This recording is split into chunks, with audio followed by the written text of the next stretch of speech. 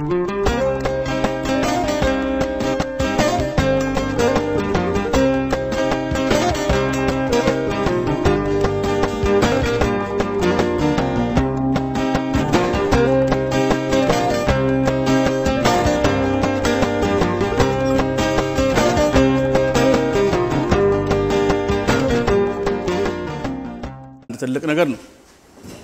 ግን የተናገረው ነገር በሕይወታችን እንዲፈጸም ደግሞ የምንሄደው መንገድ አለ።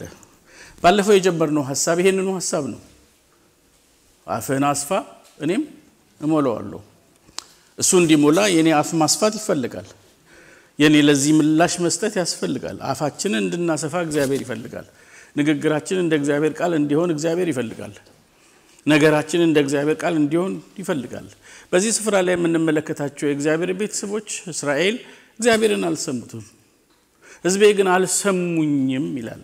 እስራኤልም አላደመጠኝም ይላል። አልሰሙኝም የሚለው ጆሮአቸውን ለእኔ አልሰጡም፣ ትኩረታቸውን ወደ እኔ አላደረጉም፣ እኔን ለመስማት ቃሌን ለመስማት ፈቃደኞች አይደሉም የሚል መልእክት ነው ያለው።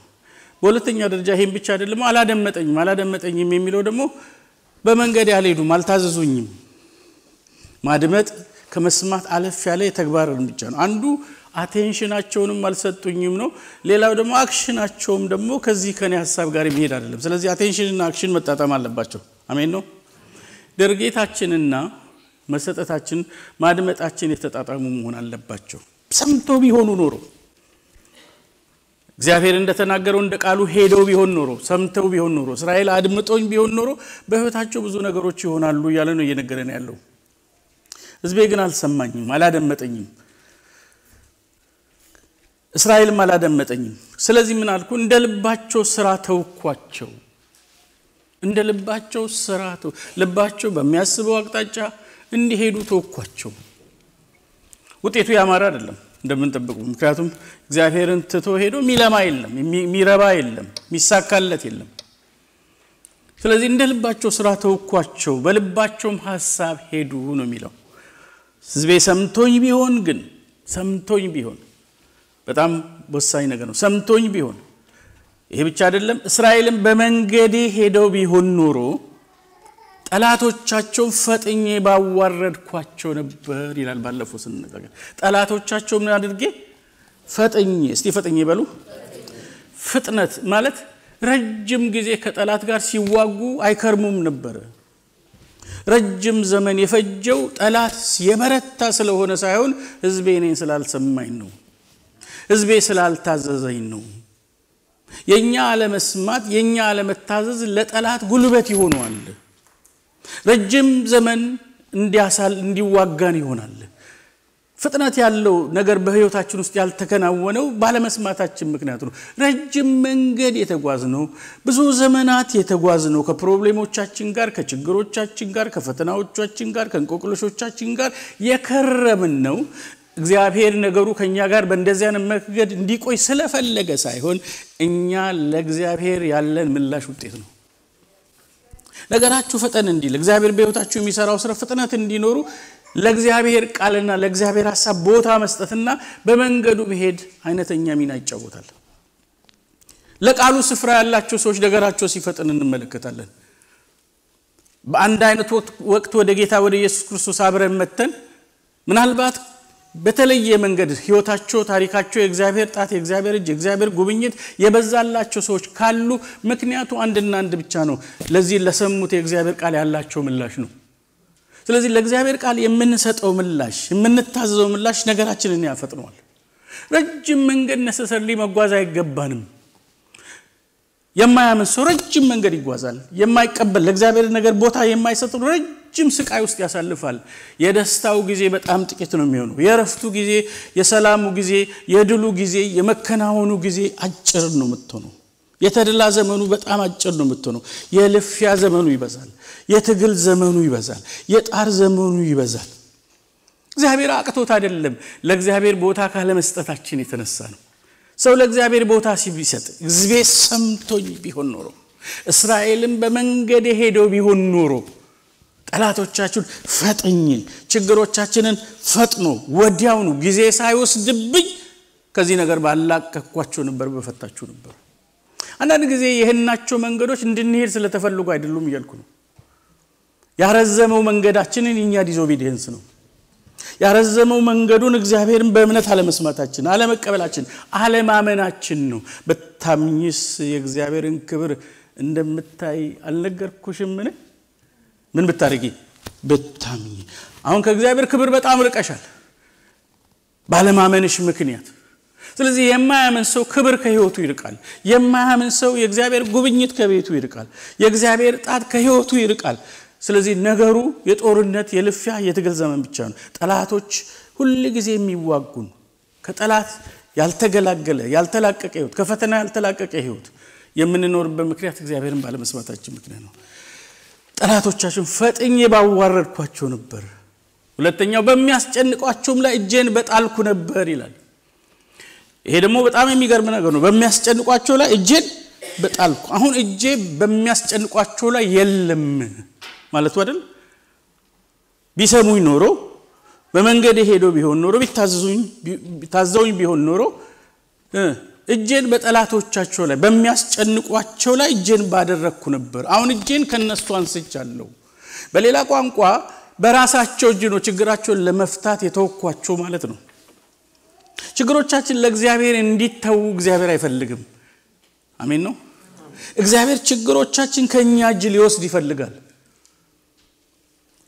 የሚያስጨንቀንን ከእኛ እጅ ሊያላቅ ለነገራችን አይተወንም። ለጉዳያችን አይተው ለችሎታችን ችግሮቻችን ለእውቀታችን ችግሮቻችንን አይተውም ነበር እግዚአብሔር። በራሳችን እውቀት በራሳችን መንገድ ነገሮችን ለመፍታት የምናደርገው ጥረት የትም አያደርስም። ረጅም ዘመን እንጓዛለን።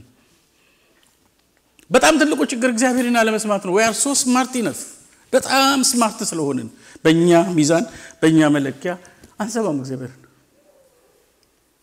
በጣም የተለየ ነገር የሚጠይቅ ይመስላል። አፍህን አስፋ እኔ እሞላዋለሁ።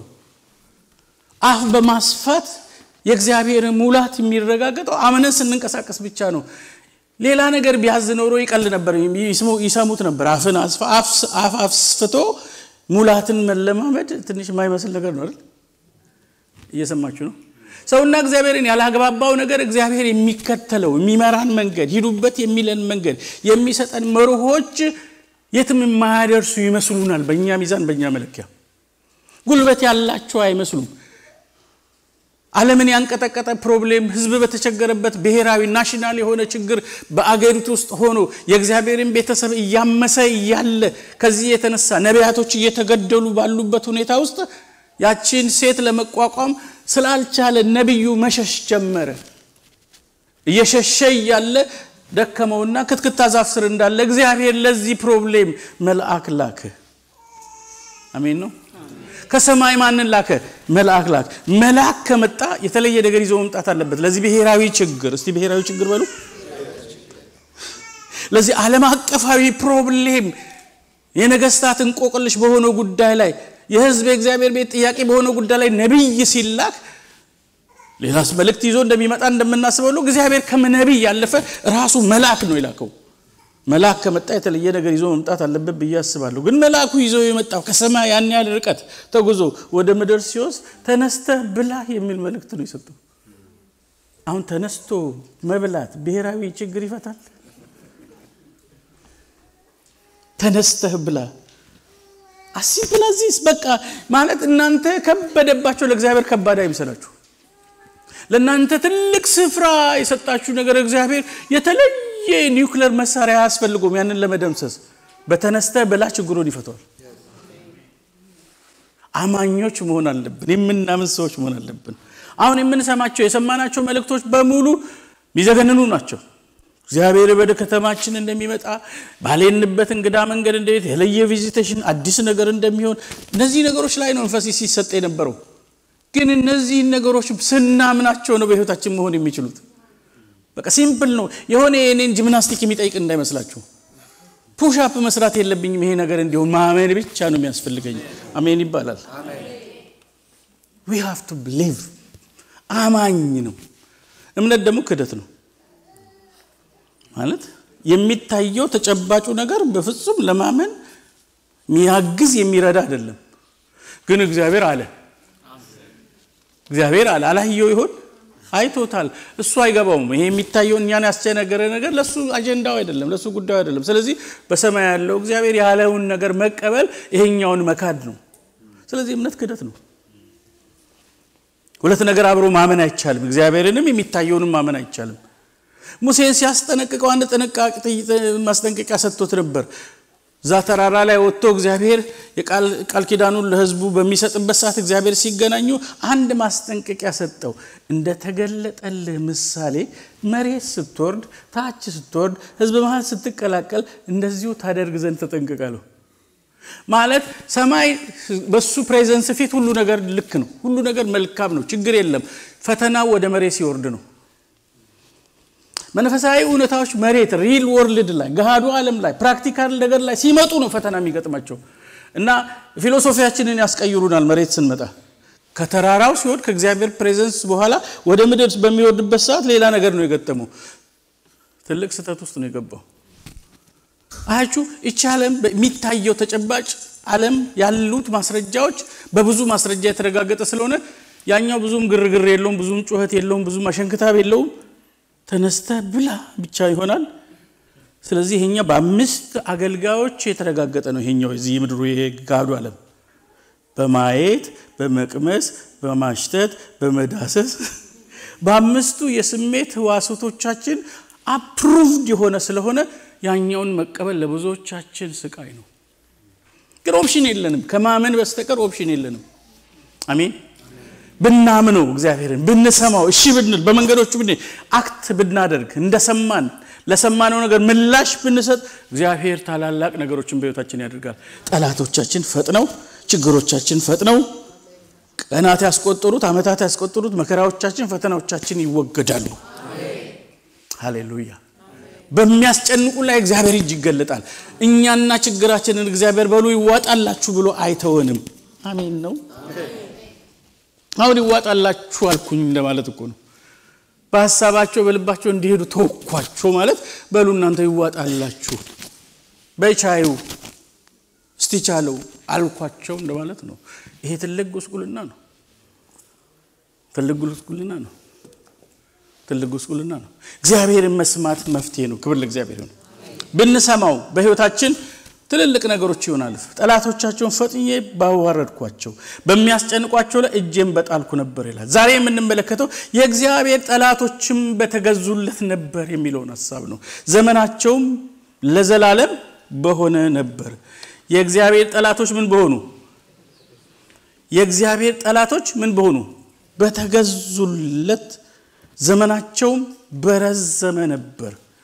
የማን ዘመን? በደንብ ቆም ብላችሁ አስቡ። ወደሚመቸን ቶሎ ጎትተን አንውሰደው። እያወራ ያለው ስለማን ነው? የእግዚአብሔር ጠላቶች ምን በሆኑላቸው ነበር? ለእስራኤል በተገዙላቸው ነበር። አሁን ምን አላሉም? አልተገዙም። በምን ምክንያት?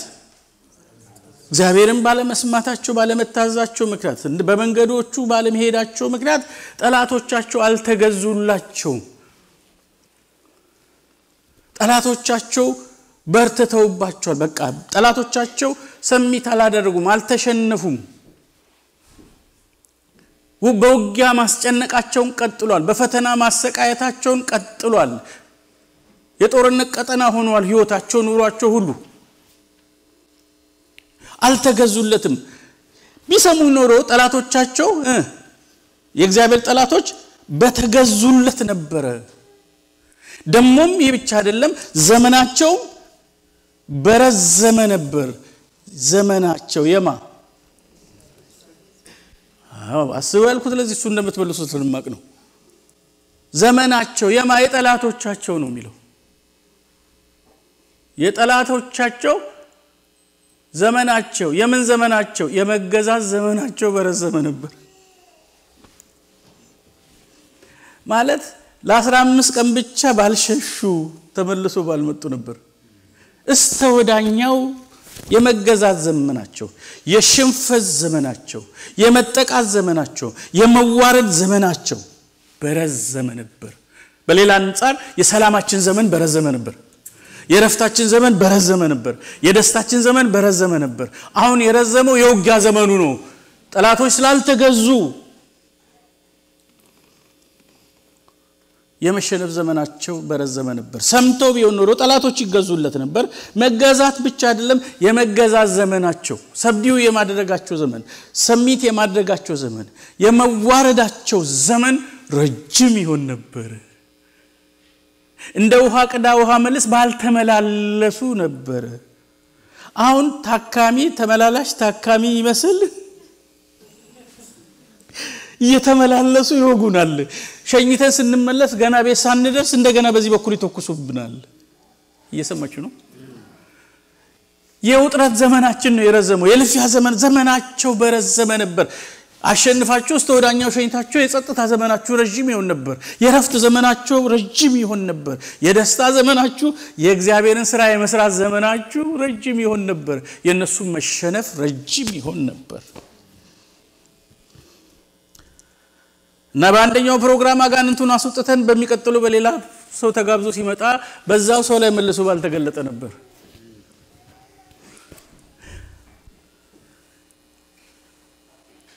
ራዲካል የሆነ ለውጥ፣ መሰረታዊ ለውጥ፣ ስር ነቀል የሆነ ለውጥ ማየት አልተቻለም ማለት ነው።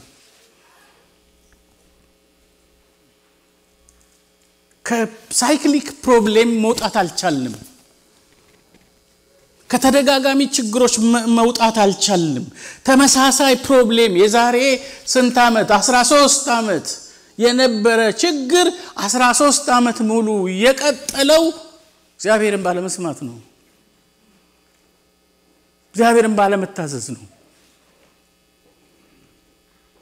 ጠላቶቻቸው የእግዚአብሔር ጠላቶች በተገዙለት ነበር። ደግሞም የመገዛት ዘመናቸው የረዘመ ይሆን ነበረ።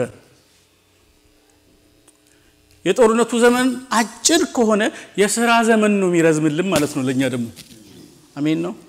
እግዚአብሔርን ስራ የመስራት ዘመን የመጸለያችን፣ ለነፍሳት መማለዳችን፣ የእግዚአብሔርን ስራ የመስራታችን፣ የራሳችንን መሰራት ዘመን ነበር የሚበዛው። ግን አሁን ሰፊ ሽፋን የያዘው የጦርነቱ ዘመን ነው። እግዚአብሔርን አለመስማት፣ አለመታዘዝ ለዲያብሎስ ቀለቡ ነው። በእኛ ዘንድ ያለውን አለመታዘዝ እየተመገበ ነው የሚበረታው ጠላት።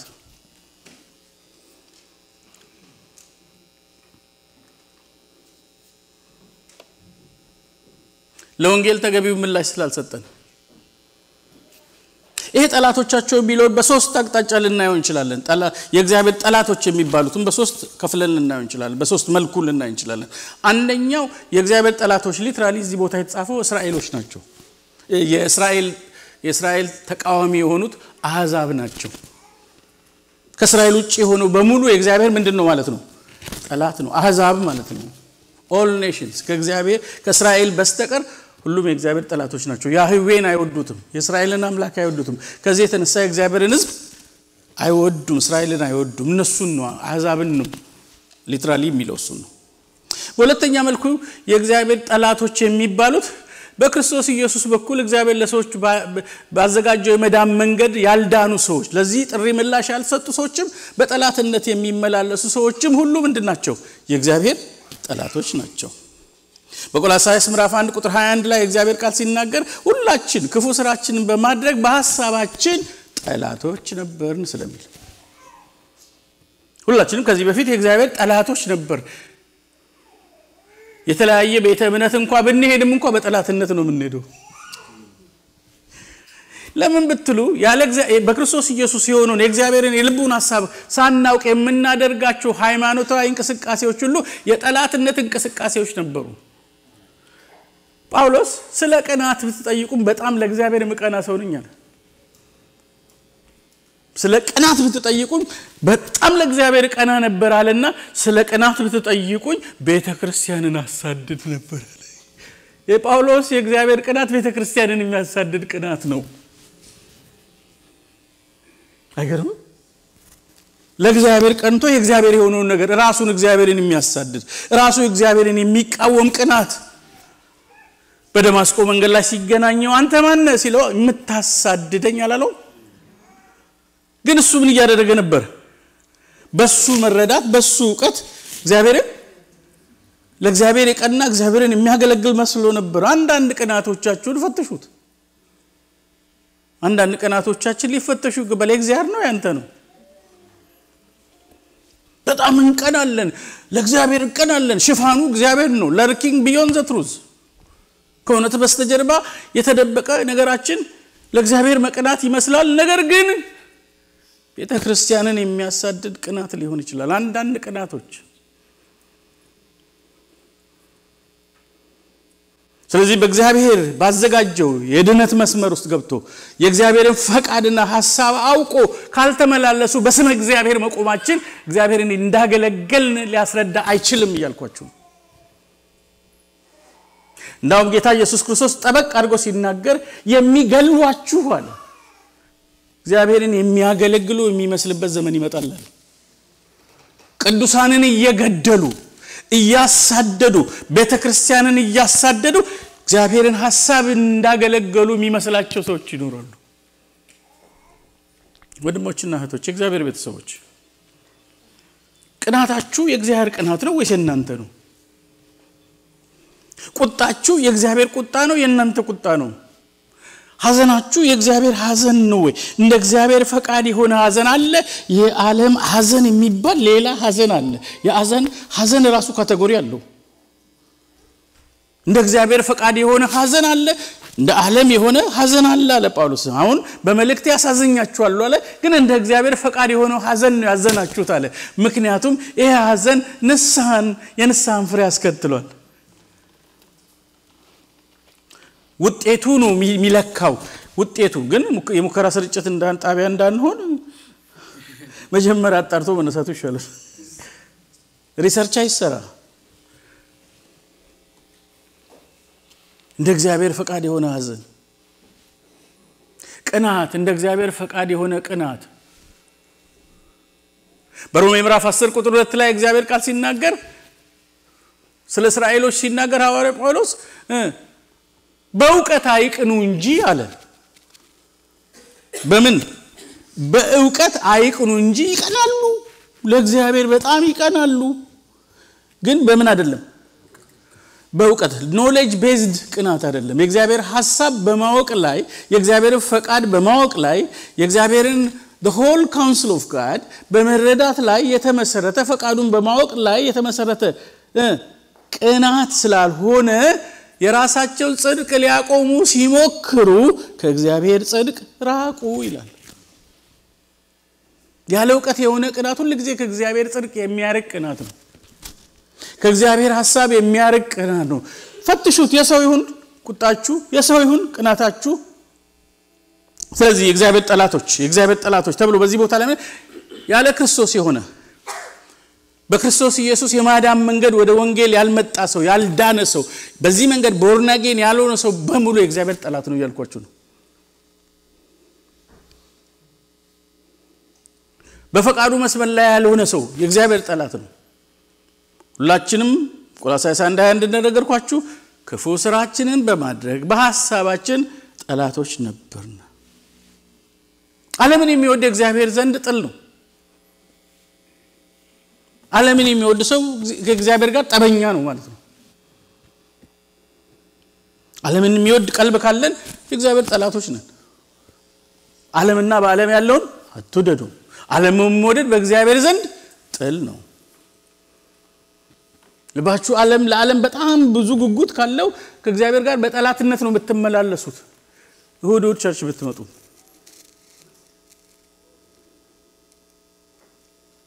የእግዚአብሔር ጠላቶች። ስለዚህ ዘርፈ ብዙ ነው ይሄ የእግዚአብሔር ጠላትነት ዘርፈ ብዙ ነው። በክርስቶስ ኢየሱስ ያልዳኑትንም ይጨምራል። ደግሞም የእስራኤል ከእስራኤል ውጭ የሆኑትን አሕዛብ ኔሽንስ በሙሉ ይጨምራል። በእግዚአብሔርም ቤት ውስጥ ሆኖ እንደ እግዚአብሔር ሀሳብ የማይመላለሱትንም ጭምር በጠላትነት የሚኖሩ ሰዎችን ይጨምራል። ያለ እውቀት በሆነ ቅናት የሚቆጡ ሰዎች የሰው ቁጣ የእግዚአብሔርን ጽድቅ አይሰራም። የሰው አለ ማለት ነው። የእግዚአብሔር ቁጣ ከሆነ በአንተ ውስጥ እግዚአብሔር ሲቆጣ ማለት ነው። ያን ጊዜ ግን ለውጦች ይመጣሉ። እንዴት ያለ ንስሐ፣ እንዴት ያለ ይቅርታ፣ እንዴት ያለ መጽናናት፣ እንዴት ያለ መስተካከል ያስከትላል። ይህንኑ ጳውሎስ የተናገረው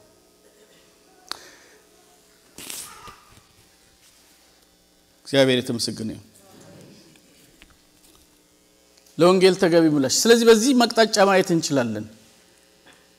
ስለዚህ በየትኛውም በሶስቱን በአንድ አቅጣጫ ብንል እግዚአብሔርን ብንሰማ ለእግዚአብሔር ብንታዘዝ በመንገዶቹ ብንሄድ ግን የእግዚአብሔር ጠላቶች ሰሚት ያደርጋሉ። እነዛም በእነዚህ ሁሉ ውስጥ ያሉት ሶስቱም አይነት ነገሮች ሰሚት ያደርጋሉ። እነዚህ አሕዛብ ምን ይሆናሉ? እነዚህ የማያምኑ ሰዎች ምን ይሆናሉ? ለያዝነው የወንጌል እውነት ምላሽ ይሰጡ ነበር ማለት ነው። ሄሎ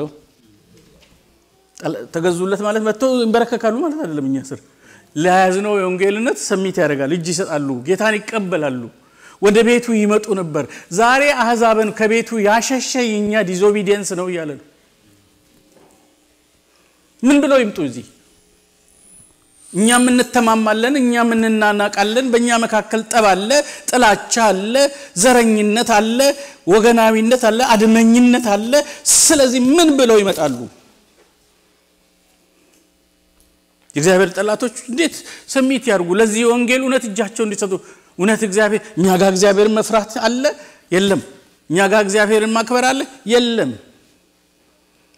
ስለዚህ እንዴት ይምጡ? እንዴት ሰዎች ያልዳኑት ወደ ቤቱ ያልመጡት የእግዚአብሔር ጠላቶች ለእግዚአብሔር መንግስት ስርዓት ያልተገዙበት ምክንያት የህዝቡ እንደ እግዚአብሔር ቃል ያለመኖር ውጤት ነው።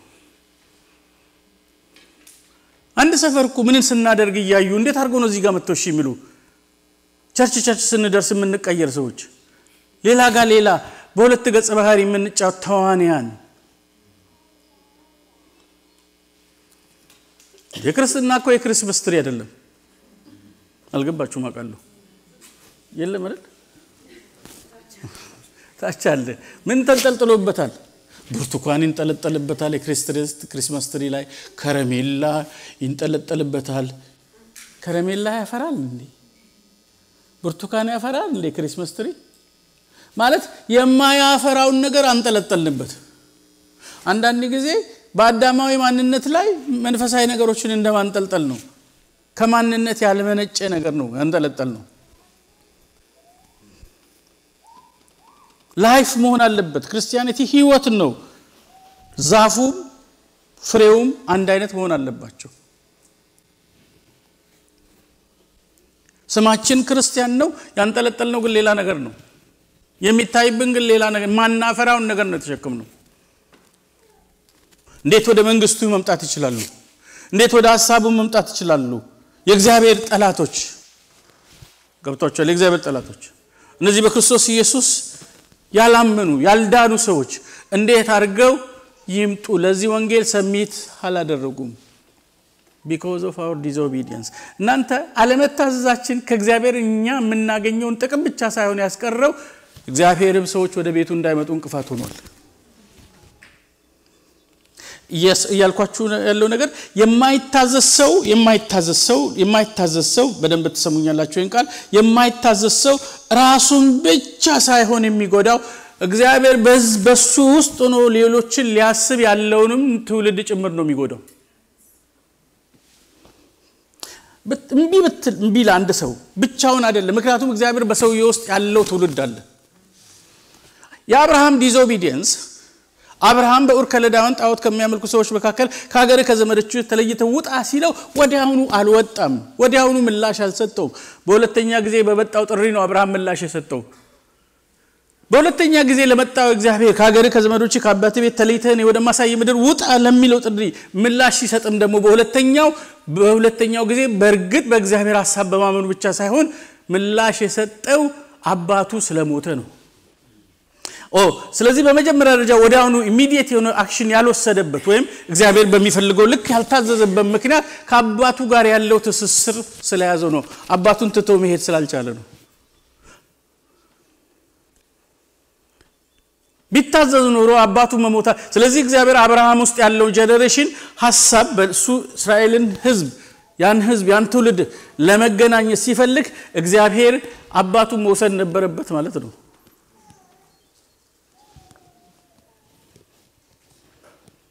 ቢታዘዝ አባቱን ያተርፍ ነበር።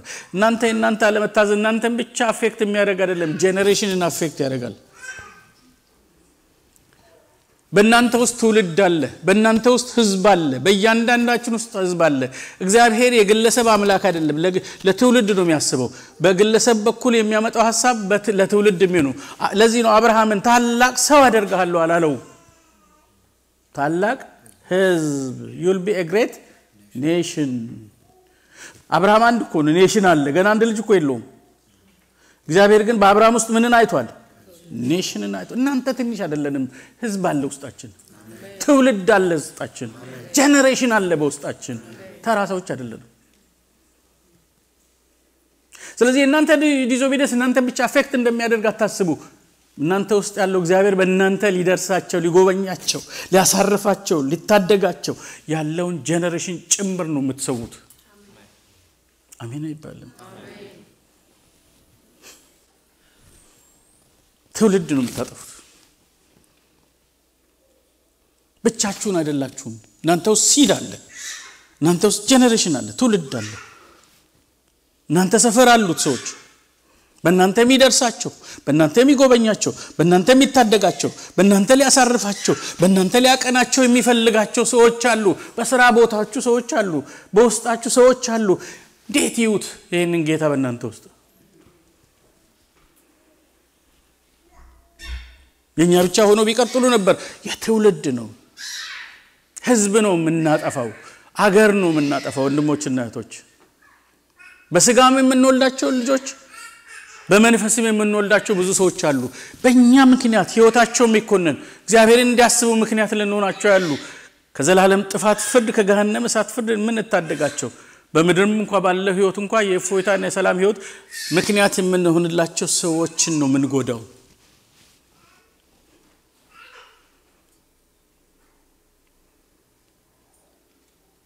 ቀላል አይደለም። ቀላል አይደለም። የእኛ አለመታዘዝ እኛው ጋር የሚያበቃ እንዳይመስላችሁ። ትውልድ አለ። ቤተሰቦቻችንን ይጎዳል፣ ልጆቻችንን ይጎዳል። ህዝቤ ሰምቶኝ ቢሆን ኖሮ ግን ጠላቶቻችሁ እግዚአብሔር ጠላቶች በተገዙለት ነበር። ደግሞም እነዚህ የእግዚአብሔር ጠላቶች እንኳ ወደ መንግስቱ እንኳ መጥተው የመገዛታቸው ዘመን በረዘመ ነበር ማለት ይከርሙ ነበር አብረውን ግን እንዳይቆዩ በመጡበት እግር ተመልሶ ሲወጡ ይታያል። ምክንያቱም የሚያገኙት ነገር ስለሌለ። እናንተ ሰው እዚህ ጋር ሲመጣ የተለየ ነገር ሊሰማው ይገባል። የተለየ ነገር ሊገባው ይገባል። ለተለየ ነገር exposed መሆን አለበት። ለተለየ ነገር መጋለጥ አለበት። እዚህ የሚመጣ ሰው ውጭ ያለውን ነገር እዚህ መልሶ ማግኘት የለበትም።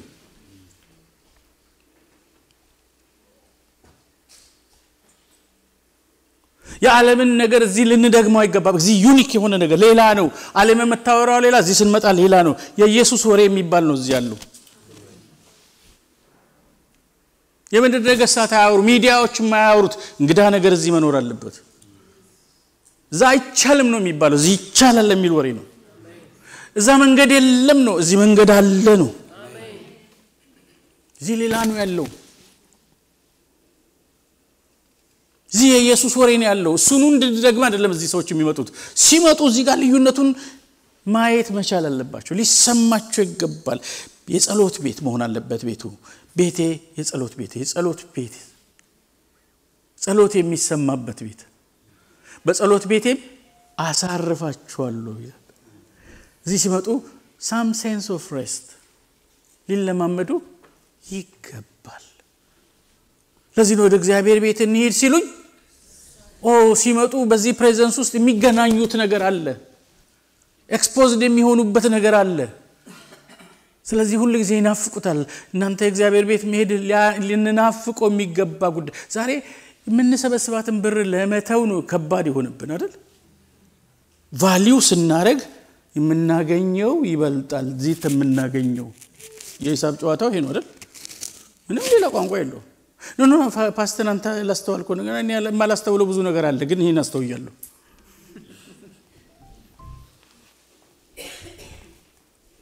value ስጡት ለእግዚአብሔር ነገር፣ ቦታ ስጡ ለእግዚአብሔር ነገር። ነፍሳት እንዲድኑ እንፈልጋለን። ወደ መንግስቱ ሰዎች እንዲመጡ እንፈልጋለን። እኔ በዚህ አይነት ሁኔታ ሰዎች እንዲመጡ ፍላጎት የለኝም። የእኛን ታሪክ መልሰው እዚህ እንዲደግሙት አልፈልግም። እግዚአብሔርን ነገር እዚህ ማግኘት የሚችሉ ሰዎች መሆን አለባቸው። መጀመሪያ እኛ እንስተካከል። simple። ማናችንም የሰው አዳኝ አይደለንም። እንዴት እንደሚያፏጭ እሱ ያውቅበታል። እንዴት አድርጎ ለያዥ ለገራዥ ያስቸገረውን ሰው በሆነች ሀሳብ ነው የሚሰብስቦት የሚያመጣው። ተብሎ ተብሎ ያቃተው አንድ ወንድም ነበረ። ቢመሰከርለት በጣም አክራሪ ነው፣ ኦርቶዶክስ ነው። በጣም አክራሪ በቃ ጴንጤዎችን በቃ ይጠላል። ፓስተሮች፣ ወንጌላውያን፣ አስተማሪ፣ ሰባኪዎችን ሁሉ challenge ያደርጋል። ይከራከራል፣ አይፈራም። ና ኮንፈረንስ አለ ብላ ብትሉ ምንም ችግር የለም፣ አይፈራም። ምንም አትነኩትማ፣ ምንም አይነካውም። እሱን በቃ የተመሸገ ከተማ ነው ልጁ። fortified city ማለት ራሱ በግንብ ያጠረ ነው የሚመስለው። በየትኛውም ቴዎሎጂ አትደፍሩትም። አይፈራም፣ ሲሟገት ማንንም አይፈራም። በኋላ አንድ ቀን ሁሉም ብሎ ብሎ ታቅቶታል። አንድ ቀን አንዱ ልደት አለ ልደት አለ እና እዛ ልደት አብረን እንሄድ አለው። ልደት ልደት ፕሮግራም ላይ እና ልደት ፕሮግራም ይዘውት ገቡ። ይዘው ከገባ በኋላ ጌታን ከተቀበለ የአንድ ወር ዕድሜ ያለው ልጅ እዛ ጉባኤ ውስጥ አለ። አገልጋዩ ሲቀርባት የልደቱ ባለቤት አገልጋዩ ሲቀርባት በቃ እሱን አንድ ወር ጌታን የተቀበለ ልጅ አለ እሱን አንተ ቃል አካፍል ብላ መጽሐፍ ቅዱስ ወስዳ ላይ ጣለች። እሱ ገና አራስ ነው። ሄሎ ጌታን ከተቀበለ አንድ ወሩ ነው። ማካፈል እንዴት ነው? መጽሐፉን እንዲመካፈል ነው። ምንድን ነው ቃል ማካፈል? ለእሱ አይገባውም። ገና ተርሚኖሎጂውም አልገባውም። እና አካፈል ስትለው እኔ እኮ አዲስ ነኝ። እንደዛ አይባልም አይባልም፣ ጌታን ፍራ ምናምን ስትለው የሚቀሰፍ መሰለውና እሻለ እሻለና እንግዲህ ወንድማችን ያካፍናል ተብሎ ቆመ። እንዲህ የተንቀጠቀጠ ልጅ እንግዲህ ያሰውዛል እዛ ጉባኤ ውስጥ ለያዥ ለገራዥ ያስቸገረው እና ግን እንዲህ ግልጥ ሲያደርገው ሲከፍለው ማካፈሉ ነው። ቃሉን ሲከፍለው እከሌ ከሌ ወለደ ሞተ አብርሃም ከሌ ወለደ ሞተ ከሌ ከሌ ወለደ ሞተ ከሌ ከሌ ወለደ ሞተ ከሌ ከሌ ወለደ ሞተ እያለ እያላበው መጣው። ራሱ እያላበው መጣ። ሳ እኛ ምን ሞታለና አለ። የሀረር ልጅ ነው። ሳ የሚለው የአረብ ቋንቋ አረሮች ሲናገሩ እንደዚህ ነው። ሳ እኛ ምን ሞታለና አለ። እቺም ብሎ ዘጋ፣ አካፈለ ማለት ነው። ከዛ እንጸልይ ተባለና ጌታን የምትቀበሉ ሰዎች ሲባል ያ ልጅ ተነሳ። እንዴት ተቀበልኩ ስለ ሞት ትዝ አለው። ሞትን አስታውሰው ማለት ረጅም መንገድ መሄድ አያስፈልገውም። እግዚአብሔር ሰውን ለመታደግ እያልኳቸው ነው። ሌላ ልጨምር። ሪቻርድ ዉምብራንድ የሚባል ሰው ስለ ክርስቶስ ተሰቃየሁ I suffered for Christ የሚል መጽሐፍ አንብባችሁ ከሆነ ሪቻርድ ሲጽፍ እዛ መጽሐፍ ላይ ፖለቲከኛ ሆኖ የ Marxist philosophy አራማጅ ሰው በጣም የአሳሪ ገራፊ የነበረ ሰው ጌታን ተቀበለ። እንዴት ነው ጌታን የተቀበልከው አንተ አስቸጋሪ ሰው? ያንን እንግዲህ አስብ። collected works of Marxism ን የጠጣ collected work ኡን ሁሉ ያስገባ ሰው ነው። እና እንዴት ጌታን ተቀበልክ ሲሉት እኔ ሉቃስ 24 ሳነብ ነው እና ምንድን ነው የነካ የነካኝ በመንገድ ላይ በኤማውስ መንገድ ላይ አብሮ ሲሄዱ አላወቁትም ነበር ይላል አለ ጌታ ኢየሱስን። ከዛስ ከዛ ወደ ቤት ሲገቡ ዝም ብሎ አብሮ አልገባም፣ ግባ እስኪሉት ጠበቀ አለ። ጨዋነቱ ነው ያሸነፈኝ እያልኳቸው ያለ እኛ ስንስተካከል እኔ የሰው ፎካሪ የሰው ጎበዝ የለውም። እንዴት አድርጎ እንዴት ወደ መንግስቱ እንደሚመልሰው ያውቃል ጌታ። አሜን። መጥተው ሰሚት ባደረጉ ነበር፣ ለወንጌል እውነታችን በታዘዙ ነበር ሰዎች።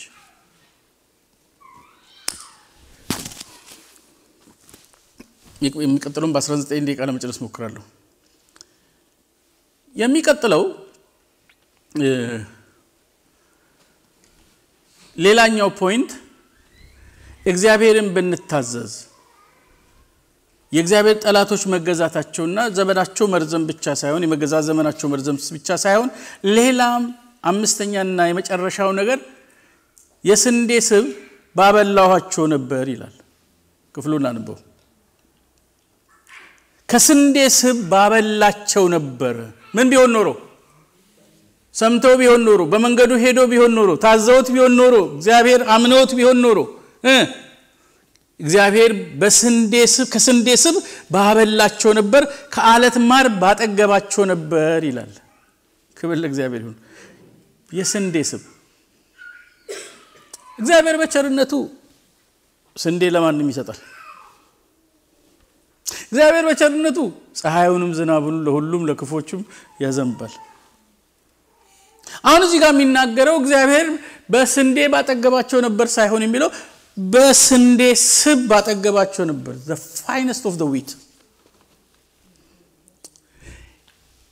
ከመደዳው ኑሮ ለማንም ከሆነው በተለየ መንገድ ህዝቡን በጎበኘ ነበር እግዚአብሔር። አሁን እኮ የምንኮራው ነው ምን እግዚአብሔር ባረከን ብለን የምንፎክርባቸው እኮ ማንም ጋር ያለ እኮ ነው። ልክ ነኝ? ስንዴ ነው ያለን። የስንዴ ስብ ያለው የለም። the finest of the wheat የተሻለውን ነገር ለየት ያለ ነገር እግዚአብሔር በእኛ ዘንድ ባደረገ ነበር። ሌላው ከቀፎ ዛፍ ላይ ከሚሰቀል ቀፎ ማር ነው የሚያገኘው። የእግዚአብሔር ሕዝብ ግን ተአለት በሚገኝ ማር እንግዳ ነገር ነበር የሚሆነው። ከመደዳው ኑሮ ለየት ያለ የሚያነጋግር ነገር እግዚአብሔር በሕይወታችን ያደርግ ነበር። አሁን ማንም ጋር ያለው ነገር ነው እኛ ጋር ያለው። እግዚአብሔር ባረከኝ አለ አንዱ። በምን ባረከ ሲል የሰርጌ ዕለት እኮ አርባ መኪና አጀበኛል። ያውም እኮ አርባው መኪና ወደ ቤታቸው የሚሄዱ ነው ተብልሰው እና በአርባ መኪና መታጀቡን እንደ ትልቅ በረከት ቆጠሩ። ማለት በጣም በጣም ደካማ ነገሮች ናቸው የሚያኮሩ ነው ያሉት። ማንም ሊያደርገው ማንም ሊሆነው ማንም ጋር ሊገኝ የሚችል ነገር እኛ ጋር አይደለም መኖር። እኛ ጋር የተለየ ነገር መኖር አለበት። የሚያነጋግር ነገር ኢምፖሲብል ከአለት በሚገኝ ማለት ሌላው ላይ የሚወጣ ፀሐይ ለእኛ የሚወጣው ፀሐይ አንድ አይነት ፀሐይ ነው። ነገር ግን እግዚአብሔር በቸርነቱ የኪዳን ልጆቹ ከመሆናችን የተነሳ ሌላ የሆነ visitation ሌላ የሆነ ነገር እኛ ጋር መኖር አለበት። ለምሳሌ ሌሎች የተዝናና ኑሮ ውስጥ ሆነው ደስተኛ የሚመስሉ ቢሆኑ እኛን ደግሞ ምንም በሌለበት ሁኔታ ሰዎች ሊነጋገሩበት የሚችለውን ደስታ ይሰጠናል። የስንዴ ስብ እስቲ ስንዴ ስብ በሉ።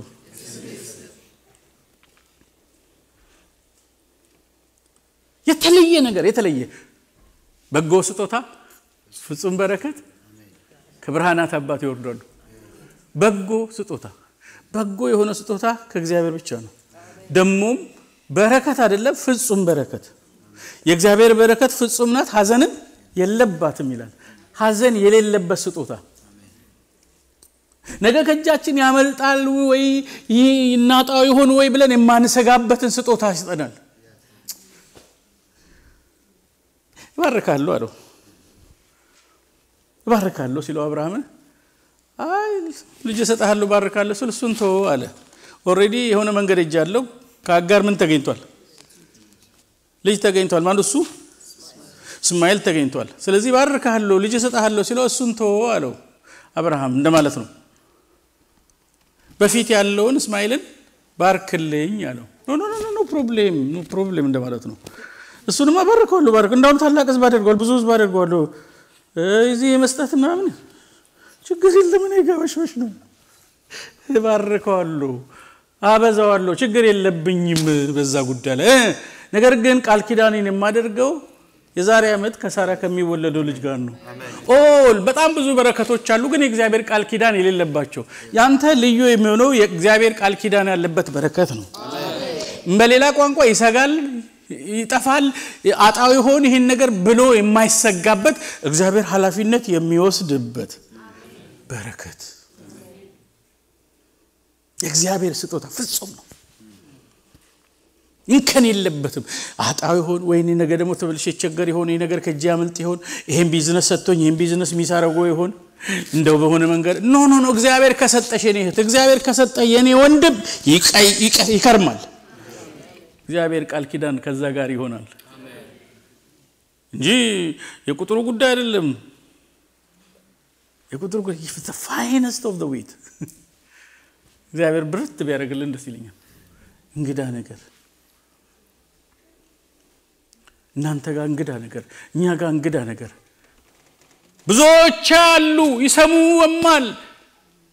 ካዩትና ከሰሙት ነገር የተነሳ እግዚአብሔርን የሚፈሩበትን ነገር እግዚአብሔርን የሚያከብር በእውነት በእስራኤል ዘንድ አምላክ እንዳለ የሚታወቅበትን ነገር ያደርጋል። አንተ የቦ ይዘህ መጥተሃል፣ ጋምባሌ ጦር ምን መሳሪያ ሰብስበህ መጥተሃል አለው።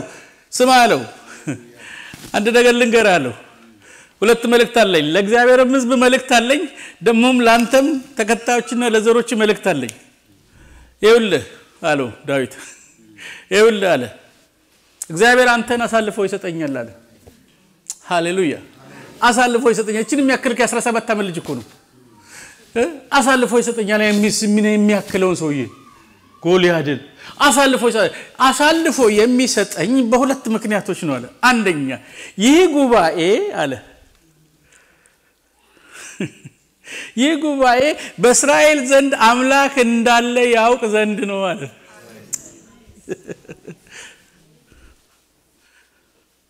ይሄ ጉባኤ የተባለው የፍልስጤማውያን የእሱ ወገኖች የሆኑትን ነው። ለነሱ ይህ ጉባኤ ይሄ ፍልስጤማዊ ጉባኤ በእስራኤል ዘንድ በእኛ ዘንድ ኦልማይቲ የሆነ ሁሉን የሚችል አምላክ እንዳለ ያውቅ ዘንድ ነው አለ። ይሄኛውም ጉባኤ አለ ይሄ ቅዱሳኑ የክርስቶስ ወገን የሆነ የእግዚአብሔር ሕዝብ የሆነ እስራኤል አለ። ይሄም ጉባኤ ደግሞ አለ ለሁለተኛ ለእነሱ መልእክት አለ። አሁን አንተን አሳልፎ የሚሰጠው እግዚአብሔር ያለ ጦርና ያለ መሳሪያ ማዳን እንደሚችል ያሳይ ዘንድ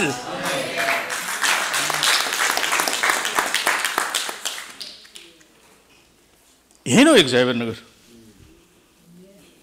problem ኡን ብቻ solve ማድረግ big deal አይደለም። problem ኡ ለዚህኛውም ለዛኛውም ጉባኤ የሚናገርበት መልእክት ሊያስተላልፍ የሚሰራው እና እናንተ ጋር የሚመጣው ነገር እናንተ አምላክ እንዳላችሁ ሰው ያይ ዘንድ የተለየ ነገር ያደርጋል። በእኔ ዘንድ አምላክ እንዳለ እስቲ በእኔ ዘንድ አምላክ እንዳለ በሉ። በቤቴ አምላክ እንዳለ ወላጆች እንደሌላችሁ ልጆች አልተዋችሁም።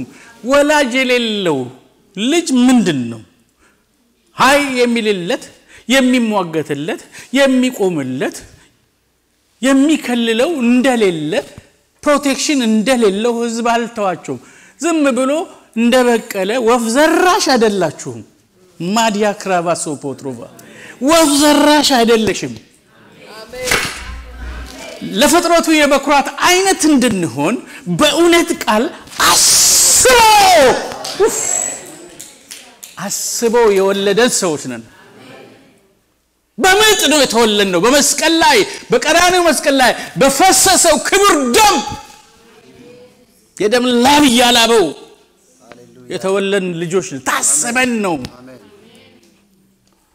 በቀላሉ ወደዚህ መንግስት አልመጣችሁም። የተከፈለ ዋጋ አለ። ምናልባት ሰው ዋጋ ላይሰጣችሁ ይችል ይሆናል። ሰው ግምት ውስጥ ላያስገባችሁ ይችላል።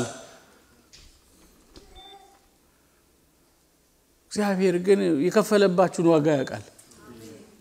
ታስበን የተወለድን ሰዎች ነን። ሰው ጋር serious with serious ነው። ስለዚህ አምላክ እንዳላችሁ የሚታወቅበት ነገር በቤታችሁ ይሆናል። ጌታ እንዳለ እናንተ ጋር ወላጅ እንደሌላቸው ልጆች እንዳልተተዋችሁ የሚያረጋግጥ visitation እግዚአብሔር ያደርጋል።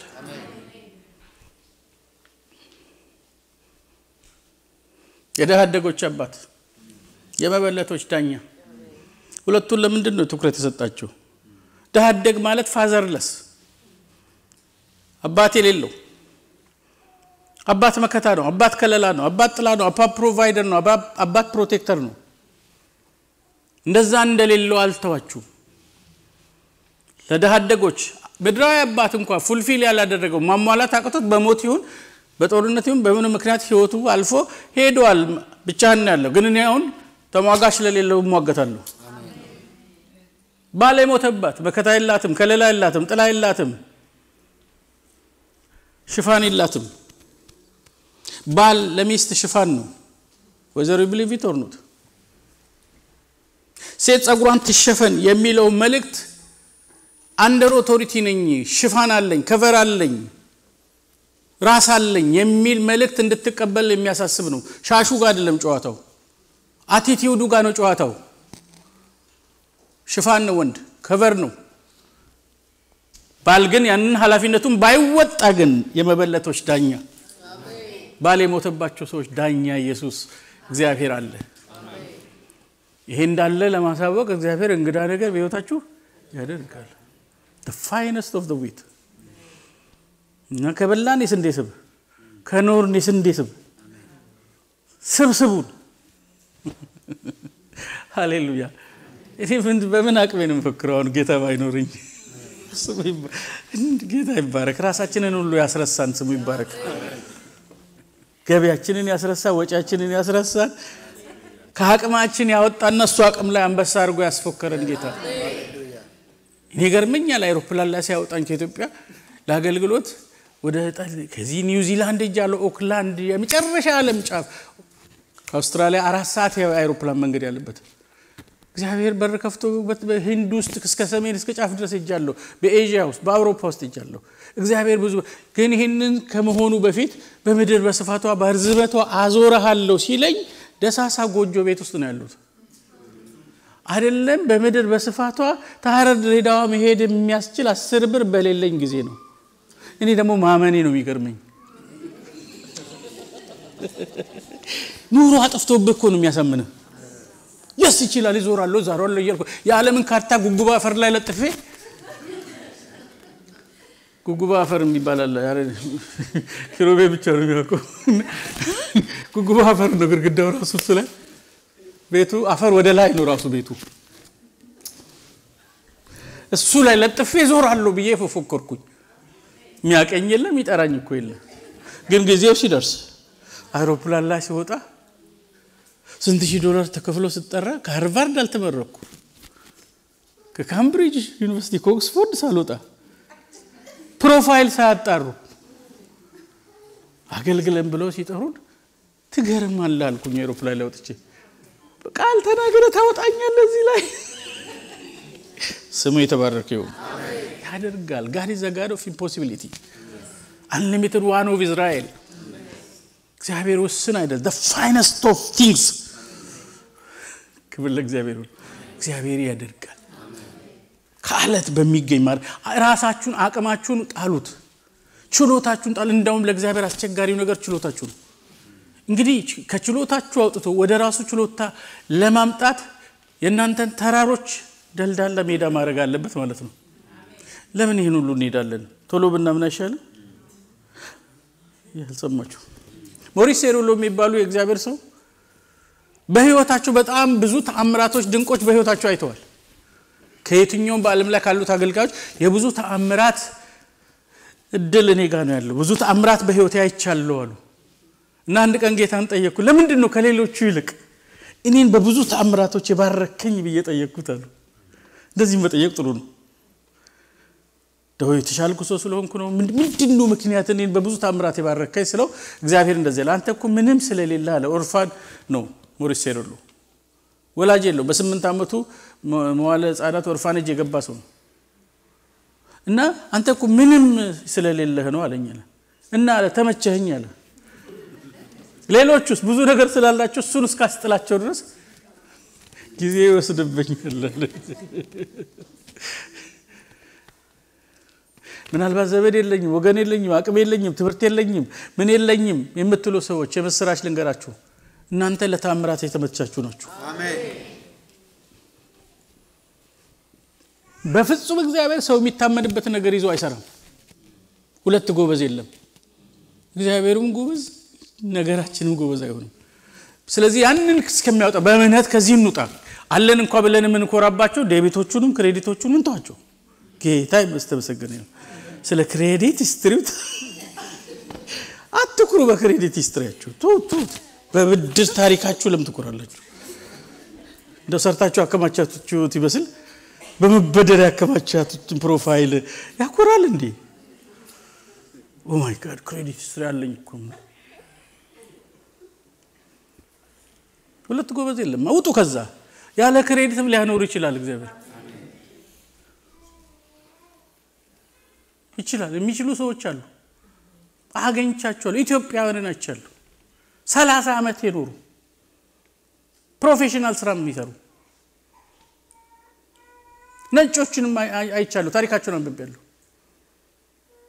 የግድ system ኡ እኔን ማስተዳደር የለበትም። finest of things